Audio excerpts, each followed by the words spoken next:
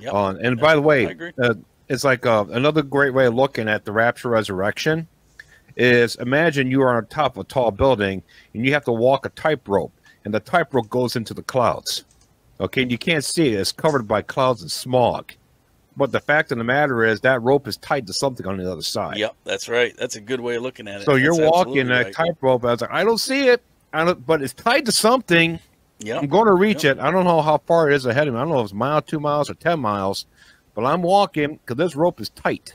Yep. It's no slack. Peter says God is not slack. It's coming. Okay, so there's no slack in the tightrope line, is there? Nope. It's just right. the fact that we can't see the end We of the can't see tightrope it. line. That's that's a great. it's going to happen regardless, folks. It's there. At a a certain great point, it's been analogy. set in stone even before the foundation of the earth.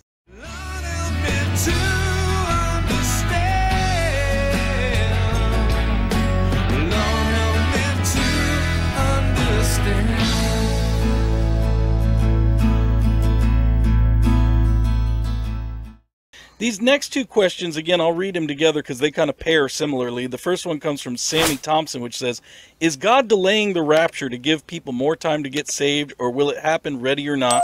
And then Dory Bennett writes in, I have a question. Before God comes back to rapture us, is he waiting on the last person to get saved before the rapture? And how does this relate to the tribulation saints? Um, I'm going to stab at this one first because, and I know not everybody's going to agree with me, so show me some grace if you don't agree with me on this, but I don't particularly I don't like like the traditional dispensational view is like God is waiting on the, that last Gentile to get saved. I don't particularly believe in that because God's not a respecter of persons. He's not waiting on, you know, one last person and, and holding up the rapture for all the rest of us saying, okay, we got to wait on this last guy to figure it out, okay, or last gal to figure it out. That's not the case. He's not waiting on anyone to get saved, but he does have a time set. I don't think it's delayed at all. We perceive a delay because we see all the convergence of events. We see the signs and we think, wow, you know, how long is this going to take? I mean, this actually ties into one of the comments in the questions. I'll, I'll pull this up real quick if I can find it. Someone had asked about the Revelation 12 sign, so we might as well tackle that now. You know, the Revelation 12 sign. Does it still mean something? Doesn't mean anything, you know? Well, see, this is why I say we perceive the delay because that thing came a little over seven years ago and we're like, well, the rapture should have happened. That's all only our understanding, but God has the time already set. Was that a seven year warning? Maybe it'll be a 10 year warning. God forbid. We don't know. Okay. It's still significant. You can't take away from that Revelation 12 sign and say that it was not a significant, you know, mm-hmm. sign. But that's the point. God knows the rapture. We don't. So, you know, if you're the last Gentile to get saved, let me just say that you are one lucky son of a gun. God is not waiting on the rapture for anybody. He has a time set, and when it happens, if you're that last Gentile, man, you got lucky. Um, so that's my that's my hot take on it. If you guys have anything you want to add, or we can move on to the next question, whatever you want to do. I, I think it's I agree with you that, that you know there's God's not waiting for any one person. It doesn't work like that. And I think that God has a plan and he's going to enact on that plan. And I think it's our job to get on board with his plan. Some people say, well, the last person hears the gospel, then the, tri- the rapture should be triggered. Now, folks, I believe that, that when the numbers are down to the smallest numbers, this is my opinion, that the smallest numbers of people, and, and it's down to that last person, well, the people that are that he thinks, well, it's going to take more than it's going to take the tribulation to save all these people, because they just ain't budget. They're not going to do it. That's when I think the rapture will happen. That's just my opinion. Now I know that it, it, that could be a long time before that happens. I get it, but God's timing is everything. It's perfect. Maybe that all got timed with the wars that are going on.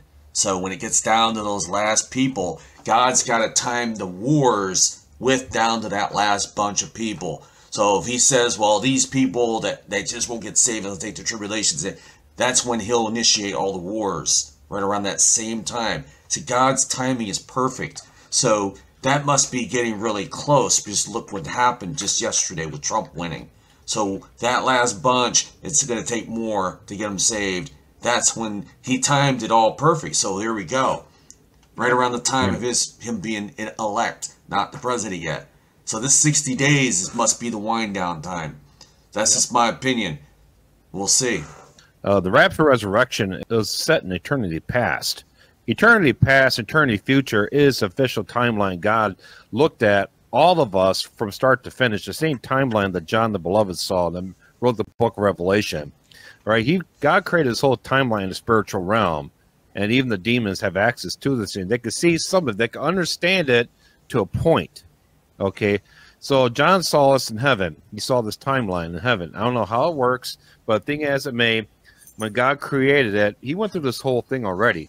That's why he can just give us the information. He gave us the Bible and say, look, I already saw what's going to happen here. I got this model set up over here, this whole spiritual model built. And this is what happens here, here, and here, and here, and here. So I can give you all the prophecies of my son coming. He saw the whole thing. And he also put the rapture resurrection at a certain point, too. And it hasn't budged. Okay. So from our layman's perspective, it looks like he keeps kicking the can down the road, right? But he hasn't. Okay. It's just from our layman's perspective. All right. So we're not looking for a person, one last person to get saved. Someone's being ignorant or being bullheaded. All right. Holding up the entire Bible prophecy of the universe here because of one person. When the rapture resurrection takes place, God knows who will be that person at that point, though. There will be a last person, Derek. Mm-hmm. But that person doesn't know it. Only God does. Because he knows right when the rapture takes place at that split hair moment. He can see, okay, this guy, this guy, this person, this girl, this young lady here, old woman here, young man. He sees everybody right at that split moment that got saved yep. at that point, according to his timeline. But he's not waiting on one person. Yep. On and by the way, uh, it's like uh, another great way of looking at the rapture resurrection is imagine you are on top of a tall building and you have to walk a tightrope and the tightrope goes into the clouds. Okay, and you can't see it; it's covered by clouds and smog. But the fact of the matter is that rope is tied to something on the other side. Yep, that's right. That's a good way of looking at it. So that's you're walking a right. tightrope. I was like, I don't see it, I don't, but it's tied to something. Yeah, I'm going to reach yep. it. I don't know how far it is ahead of me. I don't know if it's a mile, two miles, or ten miles, but I'm walking because this rope is tight. Yep. It's no slack. Peter says God is not slack and it's coming. Okay. So there's no slack in the tightrope line, is there? Nope. It's just right. the fact that we can't see the end we of the tightrope line. That's that's a great. It's analogy. going to happen regardless, folks. It's okay? there. At a that's certain a point, it's been set in stone even before the foundation of the earth. Mm-hmm. This is this is another question. I should have lumped this in with the other two because this one talks about a delay. Also, it says question. This comes from Stokely Stokely nice. and his boys. Question Do any of you know who George at Return of the King is? He talks about a possible delay to the rapture because of a huge war in heaven right now. Well, I don't. I, maybe you guys. I don't know George at Return of the King. I don't know if any of you guys are familiar, but I know my whole my whole take on the the rapture delay thing. Again, you know, a lot of people get this from the the book of Daniel, where Daniel started praying, and there was a 21 day you know, battle in heaven until Daniel's prayer could be answered because the angel had to fight with the prince of Persia and all this other stuff. And it took 21 days. So a lot of people kind of like to take that template and lay it on a delay. And uh, what this often I see this a lot when somebody's somebody sets a date and their date fails. Then the next go to is, well, that's because there has to be a 21 delay in heaven. That's like saving face, like, oh, my date failed, so now let me figure something else to stretch it out for three more weeks. I, you know, there could be war going on in heaven right now. We don't see it. I don't see any reason why why you know. I mean, listen again. There's no delay. If if God wanted a delay, He would tell us that. He would tell us, hey, you know, there's going to be a date, but you're going to have to wait a little extra long. He doesn't say anything about a delay. So I, I think, me personally, I think the whole there's war going on in heaven all the time, and I think the whole delay is just an excuse to stretch out a failed watch date. What do you have to say, Josh? You've been live for 11, 100, 111, guys, right there. Nice. Keep I, seeing it, man. I, I think that the rapture happens when the church age closes. I'm, I'm talking, uh, you know, if we have time to win souls, I think we're going to see a little bit of time left. I know it's not what people want to hear, but it's it's a possibility is all i'm saying. Mm-hmm. it says that god is it says that he's patient and long suffering for the fruit of the earth that none should perish. And so i want to look at scripture on both sides of the coin i say well it could be imminent any day now but also i think that being about the father's business and, and, and winning souls and, and being out there preaching teaching and encouraging people i think that's an important aspect of our faith as well. Uh, not to just lump everything into that um, and I'm not saying it's self centered, uh, but constantly focused on getting out of here. But we also have a job to do and a commission that Jesus did give us to do before he ascended into heaven. Here's a, here's Mhm. a good response here from Kimberly Hill saying the virgins fell asleep because there was a delay. Doesn't it say that? So, you know, we do want to we do want to look at the whole Word of God, and I'm glad. You know, if you can if you can point something out from Scripture that would help me to understand something better, I'm always glad to listen. I, I'm believe me, my ears are always open to Scripture. And uh, it does say that. It says, I think it's Matthew 25, the parable of the virgins, which doesn't necessarily really apply to us as the church, but the parable of the virgins says, when the bridegroom was delayed, behold, all the virgins slumbered and slept. Not just the five wise, the five foolish, all of them slumbered and slept. But again, when we're talking about delays, when the bridegroom is delayed, was the bridegroom delayed or was that a perceived delay on their part? Because the bridegroom was right on time according to when he was coming to snatch his bride. See, that was the ancient Jewish wedding custom was that the bridegroom would come at an hour when the bride was didn't know it. And they would come snatch the bride away. So the, the bridegroom knew when he was coming. He wasn't delayed. He wasn't waiting on his tux or something like that. He knew when he was coming. But the the the the, the uh, bridesmaids perceived a delay. Is my take on that. Go ahead, Josh. It, what do you it says right here in chapter 25, verse 4 But the wise took oil in their lamp vessels with their lamps while the bridegroom tarried, they all slumbered and slept. Right. That's that's the 1611 KJV. So that's that's verse 5 in, in chapter 25 for the t- parable of the 10 virgins. Yep. Yep. So um, let's take another one. This one's from Kimberly Lou. Says, "What does it mean that we will judge the angels?" What are you guys' take on that? Hmm, That's that's, an interesting one. it is. Huh. Yeah, that's probably pretty much the uh, white throne judgment right there. I believe. Like the fallen angels, would you say, Bob? Yeah, We will judge I believe we'll have a part in the white throne judgment. Some people think we're just going to sit there and just be in this big audience and just watch, which I think that could be the case. Maybe not all of us will be called to be judges, okay, but some of us will, or maybe all of us will.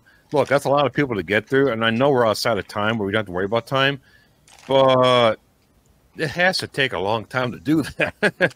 I mean, we, we we have to worry about time, but so we could sit here and spend two million years doing this and I have to think about it. But I'm like, I don't want to sit there all day and watch this. Okay, let's get this done, moved on. You know what I'm saying? So if all of us are judging, well, then in that case, you got a few billion of us sitting on thrones judging, and then God judge certain like sex, the sexually immoral and stuff like that. I think those are reserved for him personally. So I might only get maybe six or seven people I got to judge, and I'll be done. You know, that's all Interesting. take. They think about 100 billion people have lived on this planet total. They think 100 billion. All right. I don't know how true that is. Maybe because we're already at 8 billion. So it probably makes sense. About 100 billion Mhm. have, humans have been born. All right. Now, that's up till now. At the end of the thousand year reign, might be looking at maybe 150 billion, something like that. Yep. Okay. So still 150 billion divided by a few billion of us who are judges, maybe about 15, 15 people a piece that we'll get. And it won't take that long to judge them, get it done in a day. You know, you know another No. possibility, and I mean, I don't mm. know. I'm just, I'm just throwing stuff out there because you know, just RP brains, I don't think can quite fathom what we're going to be doing up there. But a thought that came into my mind was, has anybody? You remember the stories of like when Caesar would have his games in the Roman Colosseums, you know, and the, the gladiators would go out there, and the, Caesar would decide if they were to live or they were to die by either giving them the thumbs up or the thumbs down, right? We've all heard that story, right? So, like, I wonder what if we were in this big heavenly amphitheater and God is sitting there as the judge, and we're just all kind of witnesses in this big heavenly amphitheater. And there's an announcer that brings each individual angel out, and you know, the announcer says, and here we have the angel Gabriel. He brought the message of the birth of Christ to Mary, and like, and we're all like, yay, yay. And so God goes, you know, like this, and gives him a reward, and he goes on off the stage. And then all of a sudden, the announcer says, And now over here, we have Lucifer, the one that rebelled against the great and most high God. And we all go, Boo, boo. And God goes, You know, like, I, I wonder, I wonder if that's similar to like what we're going to do up there. I don't know, you know? Well, go that way. It's interesting to think of, though, right? Well, Um, you know, yeah. we don't know. We haven't gotten there yet, but it did say in the Bible that we will be in charge over angels. Isn't that Yes. correct? So, Yes. what kind of in charging job will we have? Will we be giving them specific commands to do this for us and do that? go and fetch something for we need something really quick for this. There's a number of things that, that we can go with that. You know, I don't know. But I know that will we have specific jobs during the millennial, for an example? Will we be going back and forth to heaven and earth? I'm sure we can in a mere thought of a second. But we will be given jobs specifically based on maybe a ranking system. I don't know. Uh, we won't bear a sickness like in Star Trek. I know that. We'll just have, we'll probably have our white robes, which we will, because we'll be many will have will be robed in, in white linen. But specifically based on your position and how you lived your life during this time, the, the obedience and all that, you know how that goes. Well, based on that, I think is where you'll sit in authority. But we'll be also says we'll be be in charge of of, tri- of tribes, nations. Yep. So Yep. wow, that's pretty big, big responsibility. Which I have, I would be, I would be up to, it, of course. So I get there, I say, whatever you want, God, I'm there, you know. And Rick's, it'd be like, Rick, go. Now, will we have the same name? I think we'll be given different names when we get there. So Rick is out of here. When I'm out of here, my name is gone too. So Bob, you will not be called Bob anymore. I won't be called Rick. Then what kind of names will we have? I would like to just have a sneak preview of what the names will be like up there. I'm sure they're going to be, well, we know Lucifer, that's a name. He was given that name. So these names, will they be simple like ours or will they be very like sophisticated? Well, Lucifer sounds, what do you think? Does that sound right about a simple name, you know? So That's pretty pretty sophisticated name. it is. Basil, Raphael, you know, all these names they have. So we don't know. So, We don't know what Mhm. names we'll have. Yep. And, and our identity, will we look just like, I know I won't look just like this. I think we'll look younger, of course, but will we be identified? Will I still look like a young version of Rick? I Probably. think so. I think He said so, we yeah. would know our loved oh, Yeah. ones and our friends in heaven. So by it's identified and also head knowledge. He's gonna will look know. like his email picture that he's got. That awesome picture you got, Rick. what? That awesome email. You know when you send out emails to everybody. I'm that looking out the window? pics? Yeah, it looks. Yeah, good. Bob likes that picture. So does my Yeah. dad. Yeah, I'm looking Good out pick. the window and Yeah, hoping for the day yeah. to come. Family, have you heard the massive impact that Feed My Sheep today is now making on the growth of the body of Christ here in the final hours? And the question is, are you a part of it? Will you benefit from this work being done here at the judgment seat of Christ after the rapture resurrection? If not, listen up. We all get to go to heaven because of what Jesus did. But how well you live in heaven is all based on the work that you do here right now after you've been saved. 2 Corinthians 5:10 states, "For we must all appear before the judgment seat of Christ, that everyone may receive the things done in his body according to that he hath done, whether it be good or bad." Now, the bad here does not mean your sin. Your sin was dealt with at the cross. That's all done with. The bad that Apostle Paul's talking about here are works that you thought were profitable to God's kingdom, that were fruitful, but they actually weren't. 1 Corinthians chapter 3 verses 13 through 15 claims that these works will be wood, hay, and stubble that will be burned up by the fire of God and turned to ash. Verse 12 Now if any man should build upon this foundation gold, silver, precious stones, wood, hay, and stubble, every man's work shall be made manifest, for the day shall declare it, because it shall be revealed by fire, and the fire shall try every man's work for what sort it is. Now, you want to avoid all the ash? This is what you need to do. It says to build on this foundation. What's the foundation? The body of Christ, a spiritual corporate body of believers. And how do you expand this corporate body of believers?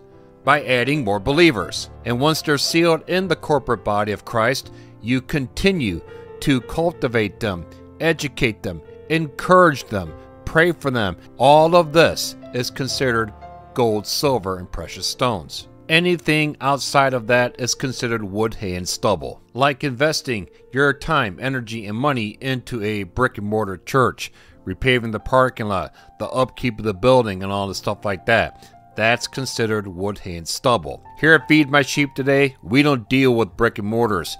We only deal with the cutting edge of the building of the body of Christ. That's it. For over 13 years now, Feed My Sheep Today has been building the world's largest network of missionaries, evangelists, preachers, pastors, teachers, and many workers in the body of Christ, all working together to share the gospel and the hope and love of Jesus Christ with new believers. And we do this by providing them all the funds they need to purchase the Bibles that they'll need to hand out for free to all the new believers. And these Bibles will be in their own native language and KJV Bibles for those who can read English. They will also be able to purchase all the humanitarian relief aid that they will need to give to these new believers that they will be interacting with when they first come into these village areas.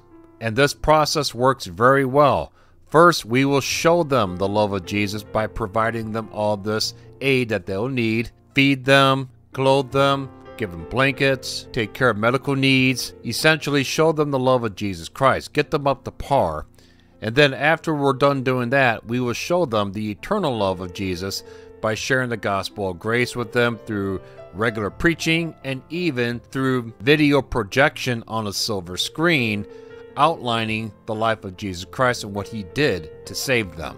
And trust me, these video presentations are very effective. So as you can see right here, everything is in place. All you need to do is just provide the seed, and you will see the full benefits of this entire operation. The only question is now, how big of a piece of the operation will be enough to benefit you and your family for eternity in heaven. So if you feel that tug in your heart right now, please don't ignore it. That's just God saying to you, hey, I can use you here right now to complete a great work on your behalf that will bless you for eternity. All you have to do is go to our official website.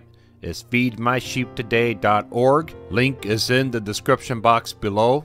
There, you can give by credit card, PayPal, bank draft, and many other online options as well, like Google Pay and more. And family, check this out. Now you can easily convert crypto and stocks into a donation as well. Any stock, any crypto, as easy as one, two, three, and you're done. Or if you don't want to mess with any of this, all you have to do is just pick up your smartphone and text sheep to 801 801, and you can very easily give right there. Don't like giving online? No problem. Send your support by mail to Feed My Sheep Today, P.O. Box 568, Schererville, Indiana 46375.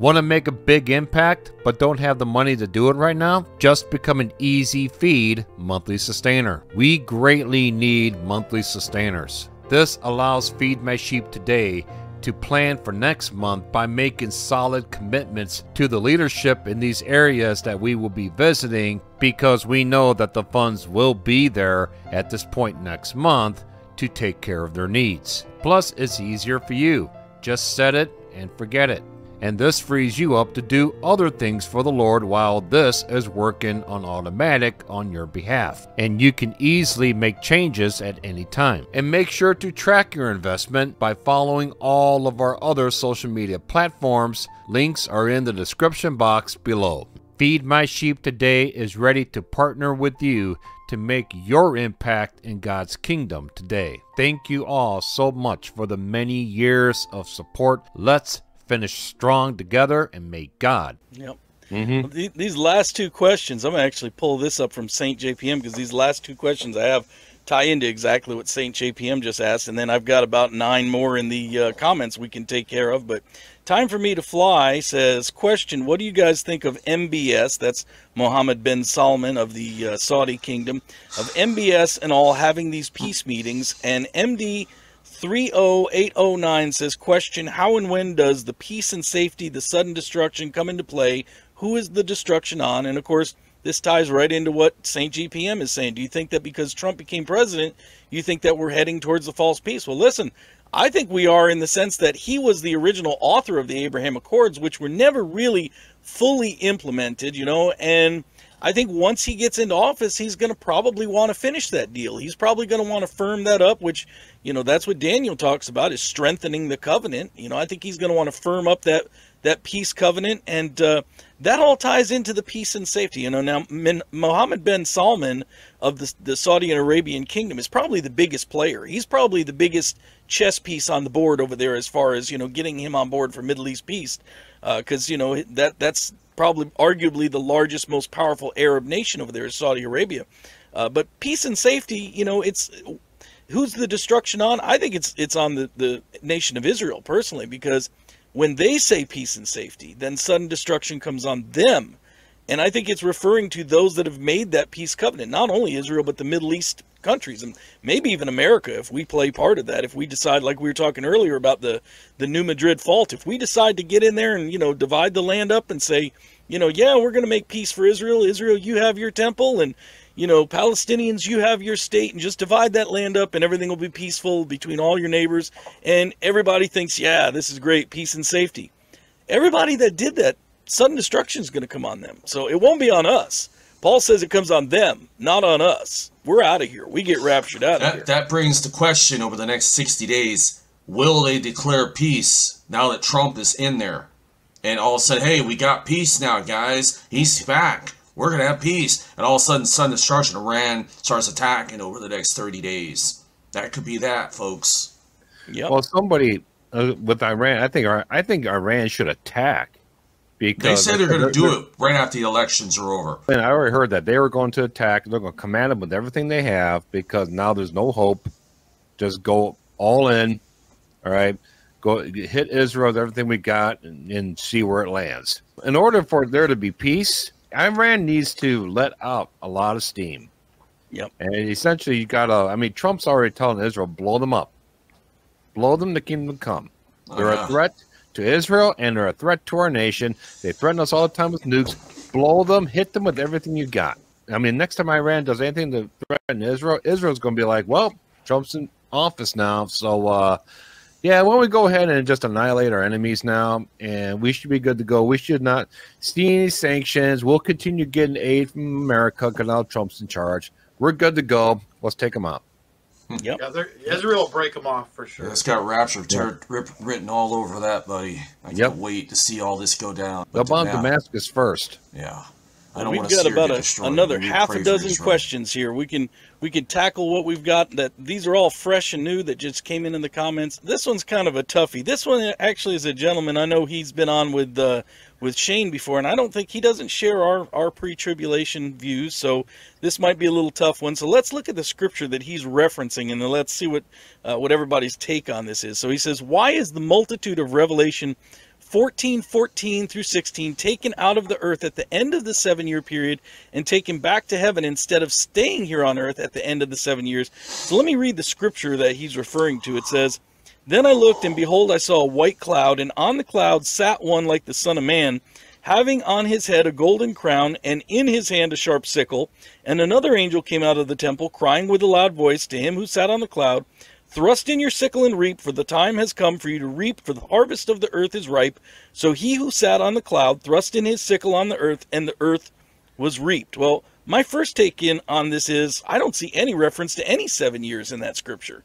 So, you know, I don't know how you can necessarily say that this scripture of Revelation 14, 14 through 16 is referring to people that were harvested, you know, before the seven years, at the end of the seven years. It doesn't really give that reference. So, um, you know, it would seem logical that there's going to be a pre-tribulation rapture. You know, there's there, we don't have time to go into that whole thing because there's just so many things in the Bible that you know that point towards that.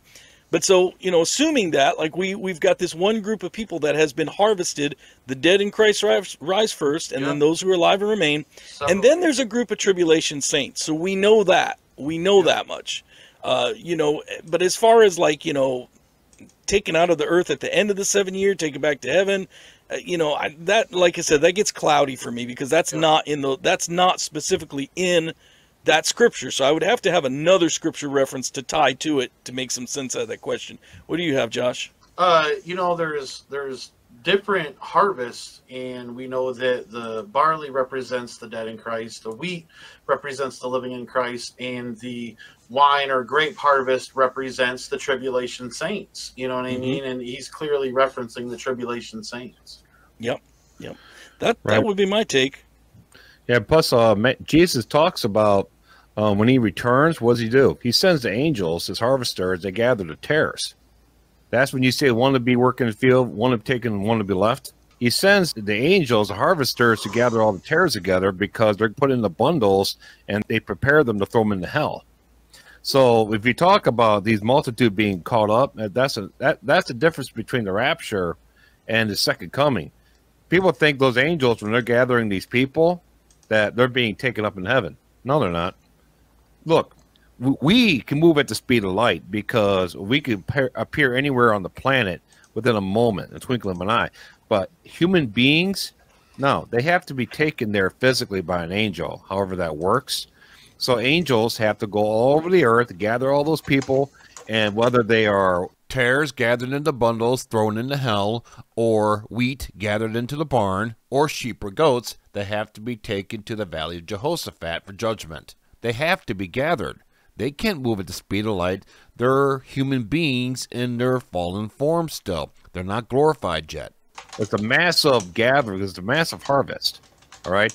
So anytime they talk about Jesus gathering people at the end, like or in the four gospels, that's just us showing up and angels going before us, grabbing people on the face of the earth and moving them around.